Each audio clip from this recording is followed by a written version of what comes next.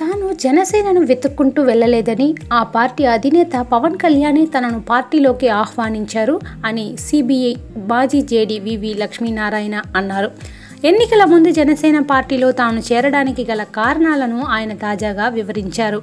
జనసేన పార్టీలోకి ముఖ్యంగా నేను రావడానికి కారణం ఏంటంటే zero budget politics. Zero budget politics చేస్తామని పవన్ కళ్యాణ్ అన్నారు. ఓటు కొనబోమని చెప్పారు. నేను ఆలోచిస్తున్న విధి విధానాలు ఉన్నాయి. మీరు వస్తే బాగుంటుందని పవన్ కళ్యాణ్ నన్ను జనసేనలోకి ఆహ్వానించారు. పార్లమెంటరీ నియోజకవర్గంలో పరిస్థితులు విభిన్నంగా ఉన్నాయి. గ్రామీణ ప్రాంతాల్లో పార్టీ సింబల్ వంటివి ప్రజల్లోకి తీసుకెళ్ళడానికి సమయం పడుతుంది. పదహారు పదిహేడు రోజులు మాత్రమే ప్రచారంలో పాల్గొన్నాను. రెండు బలమైన పార్టీలు ఉన్నప్పుడు రెండు లక్షల ఎనభై వేలకు పైగా ఓట్లు వచ్చాయి. ఓడిపోయామని మేము ఎన్నడూ అనుకోలేదు. రాబోయే రోజుల్లో తప్పకుండా గెలుస్తామని భావించామని చెప్పారు. ఆ తర్వాత పొలిట్ బ్యూరోలో నన్ను ఉండాలన్నారు. ఐదుగురితో పొలిట్ బ్యూరో ఉండడం సరికాదని ఆ సంఖ్య ఎక్కువ ఉండాలని చెప్పాను.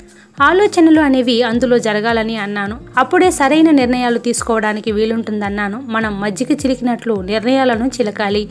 ఎక్కువ మంది మదనం చేస్తే మంచి నిర్ణయాలు వస్తాయి.